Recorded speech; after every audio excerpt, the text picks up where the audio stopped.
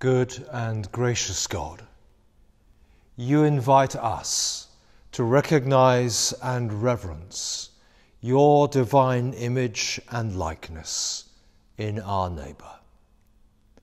Enable us to see the reality of racism and free us to challenge and uproot it from our society, our world, and ourselves for your glory. Amen.